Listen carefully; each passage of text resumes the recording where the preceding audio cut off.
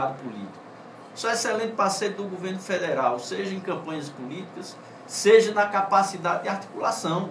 Olha, eu arrumei 4 bilhões em dinheiro para a cidade do Recife e não tem bom trânsito, né? Imagina se eu tivesse, não é? Ia ser o quê? 20 bilhões de reais na, no Recife? É, é não. Pô, arrumei o dinheiro.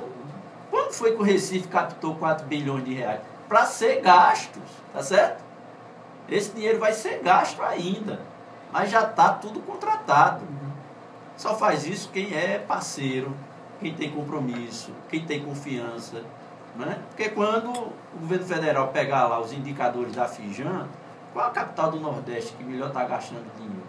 Recife, tá certo? Então isso conta. Não é? Então se eu estou fazendo tudo isso, aí eu sou candidato. Eu não posso ser candidato se fulano é, se fulano não é.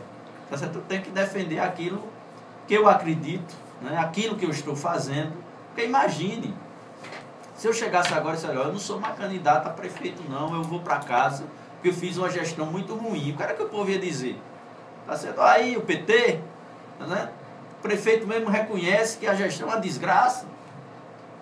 Né? Mesmo que fosse, não é, pelo contrário, eu estou convencido, tá certo?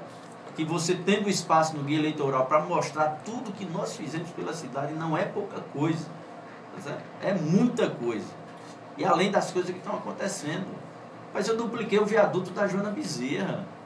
Há 30 anos. A pessoa, ah, isso não é nada? Tá aí o Parque Dona Lindu, tá certo? 30 mil pessoas foram no aniversário de Dona Lindu. Eu terminei o Dona Lindu, criei vida para aquele negócio, tá certo? Hoje só faz um ano, mas parece que está em 30. Está tão incorporada a cidade que a gente esquece disso. Prefeito Valda Tá Costa, certo? eu- eu só-